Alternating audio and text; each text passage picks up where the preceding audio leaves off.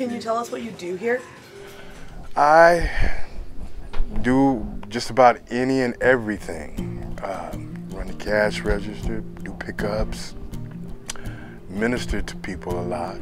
Uh, there's a lot of people that come through here that have taken the time to relate their problems to me. And I've taken the time with them to understand, just like World Impact has taken the time to understand me and give me an opportunity to do something different.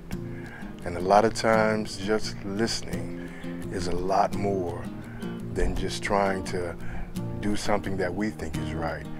So to minister to people, to take donations and appreciate it, and to bless someone else through the work and efforts that we make has made my life completely different. I never thought I could be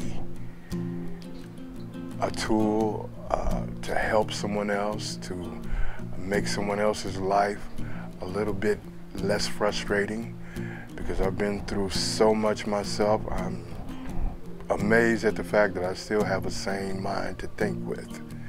And it's hard sometimes to keep on track, but with the people around me that influence me, associated with World Impact, I make it through every day. And this I take to heart that I have an opportunity to do something different, especially with the people here. Though I have no immediate family, this has become a spiritual family for me to walk through uh, uh difficult things. It's like I wear many hats, a bouncer sometimes, a pastor, whatever. This is the very first time in my 57 years that I've held a job for four years.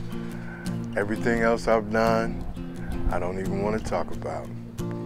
But right now I stand here appreciating the fact that somebody's giving me an opportunity to talk to someone else because I'm a living proof that God can do something different if you allow him to.